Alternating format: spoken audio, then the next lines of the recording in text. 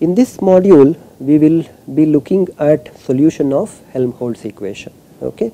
We have defined what is Helmholtz equation.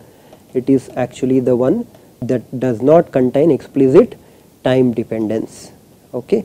So, we want to find out how to solve this Helmholtz equation. It generally turns out that it is actually very difficult to solve this Helmholtz equation, but it is possible to pick certain based on some intuition it is possible to pick certain directions for the electric field okay?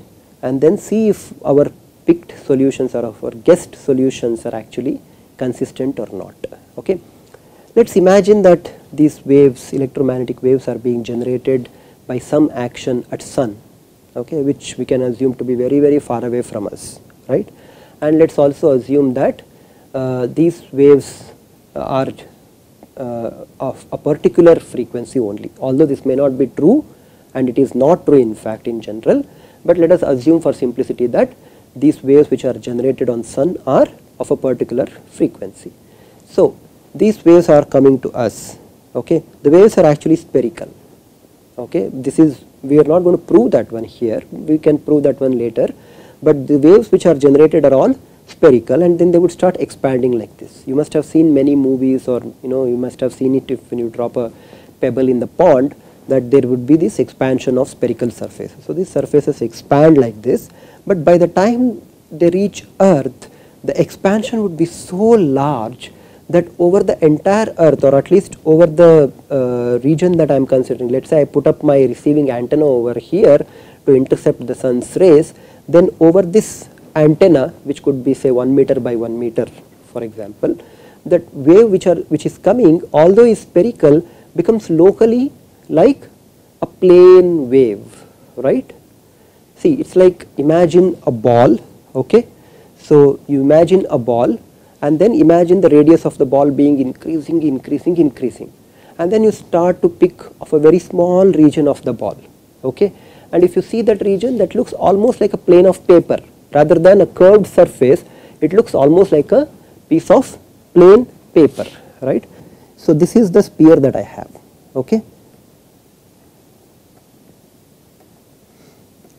And then if I now pick up a very small region which is what would happen right. See this is the small region why because this spherical surface which represents the wave generated from sun is actually quite large right. So, and the, on that I am putting my small receiving antenna and saying what is the variation of electromagnetic field over here on this antenna. So, this is a small region which I am seeing. So, although I would be looking at a curved surface like this right. So, this is the curved surface that I am looking at, but for all practical purposes right this can actually be replaced by a plane graph. Okay. So, these kind of waves are called as plane waves okay and we will be looking at plane waves okay and mathematically plane waves are quite easy to sim easy to specify because they can be specified easily I will tell you in a minute now but physically plane waves cannot really exist okay because mathematical plane waves cannot exist simply because you will see why they cannot exist. But the idea is that if a wave source is sufficiently sufficiently far away from the place where you are looking for the waves then you can actually model that wave as a plane wave okay. So, that is the whole idea of using plane waves this is why sometimes this is called as plane wave approximation and that is very widely used in electromagnetic studies and optical studies okay. So, how do we define mathematical plane waves? Mathematical plane waves can be defined by writing. So, mathematically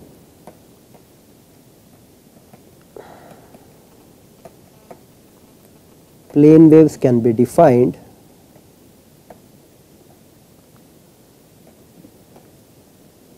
by associating E and H fields to be of this form. Which form? I will just in a minute I will draw that. The form is this. These are the electric field lines. Okay? These are the electric field lines of the plane wave. Okay? And these are the magnetic field lines. You can see that these electric and magnetic field lines are all crossing at right angles. So, you can see that these are all crossing at right angles. Okay.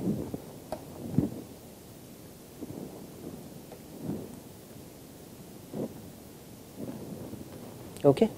So, this is like taking a wired mesh and then putting it up in front of you with one axis pointing to the electric fields. This is the electric field and this is the magnetic field E and H fields. Okay. So, these are called the plane waves and these plane waves have to be advancing, they have to be propagating somewhere, right. So, if you go back to this spherical wave, you know which is uh, expanding like this, spherical wave expanding like this, right, it actually means that I have these plane waves, right, which are expanding all the way, right. So, these plane waves are all expanding all the way over here right? And then this is how the plane waves are expanding. So, if I consider the direction in which these plane waves are expanding as z axis right? Okay let me consider the direction of expansion of the surface of wave surface as z axis. Then it is immediately clear that electric field and magnetic field both have to be in plane that is perpendicular to z axis correct? They have to be plane that is perpendicular to z axis. So for example if this is my axis of propagation the wave is propagating like this and this is my magnetic fields okay? Or you can think of this board that is there at the at the back here okay? As consisting of lines which are electric and magnetic field lines. Okay? And then the board is advancing towards you. The board is coming towards you in the z direction. So this is the direction of wave propagation and these are the electric and magnetic fields. Okay?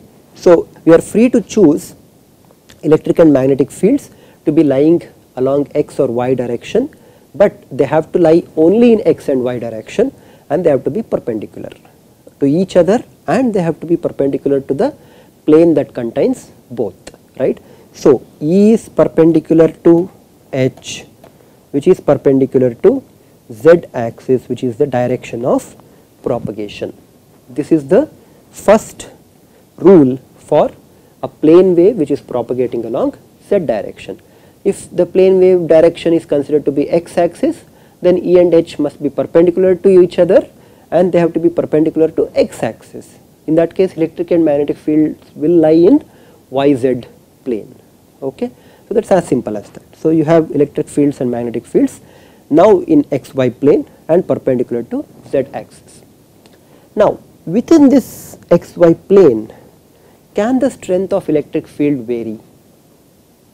We can rigorously show that the strength of electric field and magnetic field cannot vary, they have to remain constant. This is a plane wave, the strength of electric field and magnetic field remains constant in xy plane or completely independent of xy coordinates.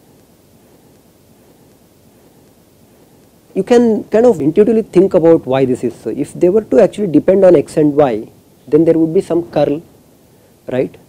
And there would be some divergence. But if there is divergence, then del dot E will not be equal to 0, right? And del dot B is not equal to 0. Therefore, you cannot have variations. Okay, we will not prove them rigorously, it is not important.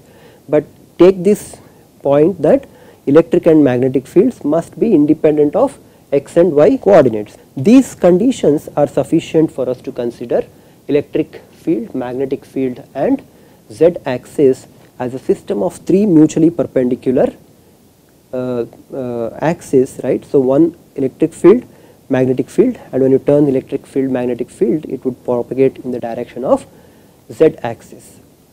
Now you might rightfully ask who stopped you from considering propagation along minus z direction?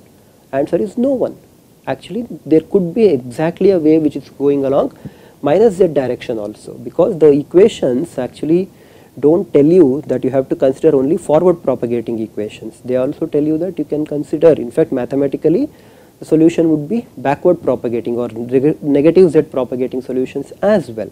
Okay. And if you go to that electric field and magnetic field should be in such a way that electric field to magnetic field will point in the direction of z then you have to appropriately change the electric field and magnetic field orientations okay? Other than that there is no problem if you consider negatively propagating wave equation I mean wave solutions or waves.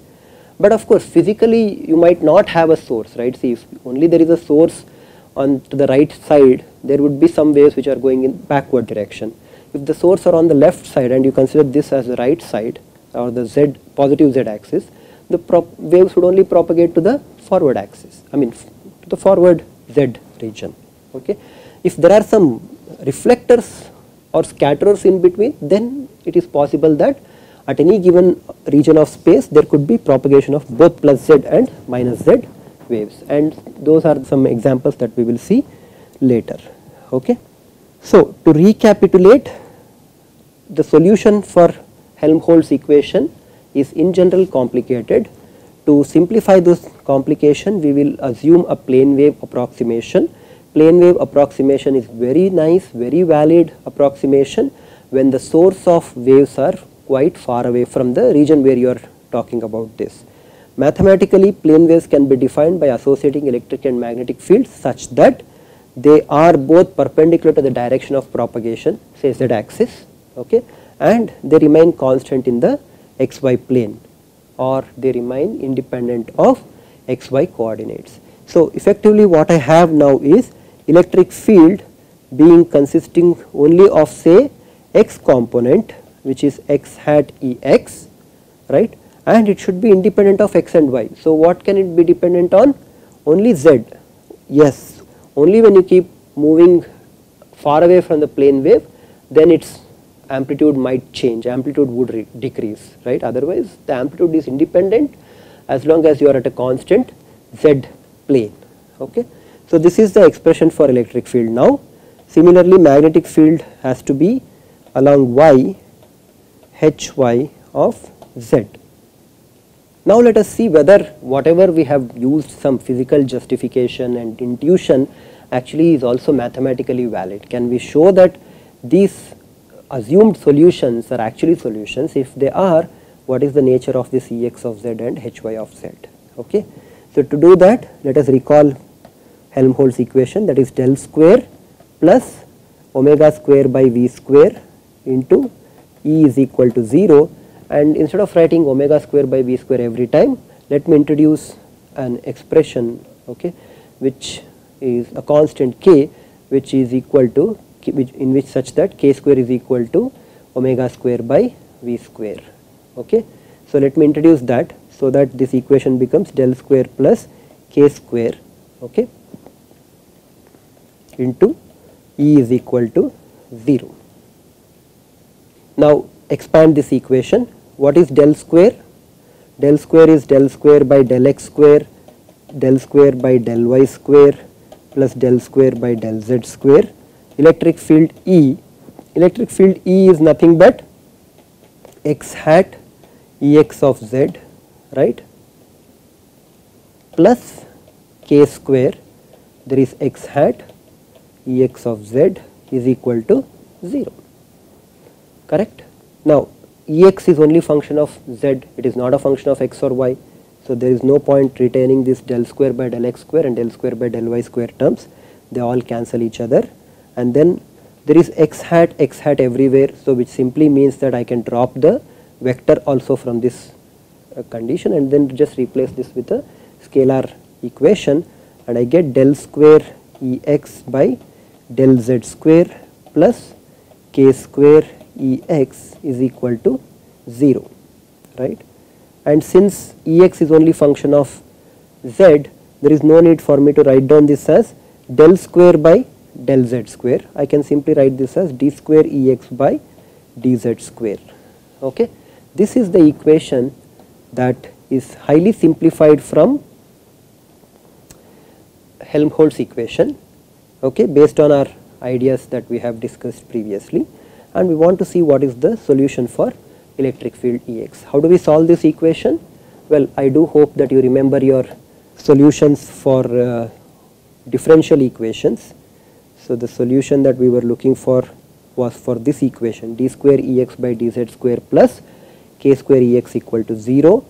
The solution of that equation is have d square Ex by dz square is equal to minus k square Ex correct. The solution for this would be Ex of z is equal to some constant a e to the power j k z plus some constant b e to the power minus j k z. Does it actually get satisfy this equation? Can you just verify that this is actually the equation? I leave this as an exercise to you. Okay, this is a small exercise to you to show that this assumed solution or this guessed solution indeed satisfies original equation. Okay? Which is this one. We will call this as some equation 1 okay? Equation 1 you should verify that. For example you turn off b. Okay? Then what would happen? You have a e power j k z. So differentiating once with respect to z you will get j k. Twice you will get j k square. J k square is minus k square. So minus k square into ex is equal to minus k square into ex therefore this is the solution. Similarly minus j k would also be the solution. So it's up to you now to whether retain a plus kz solution or a minus kz solution mathematically both exist but if you now say that well you know I do not have any wave any physical source which would actually push the waves along minus z direction then I can make this equal to 0 okay if not then I do not have to make it equal to 0. So this is called as the forward wave and this is called as the backward wave. I am using forward and backward in an analogy with transmission line which we are going to study after the wave modules okay. Based on that any wave which is going along positive z direction is forward wave for me any wave which is going along minus z direction is called backward wave for me okay. So that is just my simple short notation that I am going to use okay. I have Ex of z is equal to considering only the forward wave solution I have Ex of z is equal to A which is some constant and instead of talking about A which conveys no intuition let us call this as E0 okay E0 stands for some amplitude of the electric field. So you have E0 e power jkz as the solution. Do you recognize what has actually happened over here? The expression for electric field is depending on z correct? But it is actually a complex number right? If you try to sketch this one you will not be able to sketch this. It would actually be a complex number. You will have to sketch the real part first sketch the imaginary part first right or you can interpret this as a phasor right? So if you actually think of this in terms of the phasor with real and imaginary axis then this corresponds to a phasor which is rotating right with an angular velocity of kz. So you fix z and fix k then it would point to a particular direction. But if you keep moving along z then this would actually be a phasor which is rotating okay? Are we also satisfy that its amplitude is changing only with z yes because there is no change in x and y directions right? So this is just a wave which is propagating along z direction right? The second thing that you have to notice is that this is a phasor one. Therefore then it is not the complete time dependent form right? So if you want to find the time dependent form you have to multiply this Ex of z by e power j omega t then take the real part of it right. So, to obtain the time dependent form which is Ex of zt and what do you get if you want if you do this operation? Multiply by e power j omega t you will get e power j omega t into e power j omega t plus kz okay? And with that if you go back here you have electric field here as real part of Ex of z and substitute for Ex of z here I get E0 e power j omega t minus kz and real part of this is nothing but E0 is real therefore E0 comes out of the real operation you have E0 cos of omega t minus kz. This is the expression for electric field. Okay, this is in the scalar form. If you want to write down the expression of the electric field in the vector form, you can attach the appropriate vector direction, right. So, this electric field would always be directed along the x axis and if you were to fix z and t and everything, this cos term is fixed, then it would point with an amplitude of E0 times something, whatever the cos value is, something and it would always point along x. Okay. There are two things we can do now fix t and see what happens with respect to z and fix z and see what happens with respect to time. This is like I take an oscilloscope, I hook it up into air okay, and this oscilloscope display should tell you the electric field okay that of the form cos omega t minus kz. And I don't I am not satisfied with only one oscilloscope at this particular point in z. I have two three different oscilloscopes okay kept at two different or three different points along z direction okay. Now if I were to say this is z equal to 0 okay and this is z equal to something this is z equal to something uh, rather than talking about z it's easier for me to talk in terms of kz okay so kz equal to 0 kz equals pi by 2, kz equals pi. I have got three different oscilloscopes at values of kz equals 0, kz equals pi by 2 and kz equals pi. This kz equal to 0 is my reference. Okay. Now, with that if I were to see what is the display on the oscilloscope, right, what would be the display that I would see? Go back to the expression, take kz is equal to 0 with kz equal to 0 the expression for electric field will be x hat E0 cos of omega t. So, if you were to look at the oscilloscope display you would actually see a display that would look like this correct. This is the cosine waveform this is a time. So, this is the axis with respect to time. So, this is a time t equal to 0 with an amplitude of E0 right this will have an amplitude of E0 and it would go as in this particular fashion. Okay. Now, if you try what happens at kz is equal to pi by 2, you get x hat E0 cos of omega t minus pi by 2. Now, cos of omega t minus pi by 2 is sin omega t, right.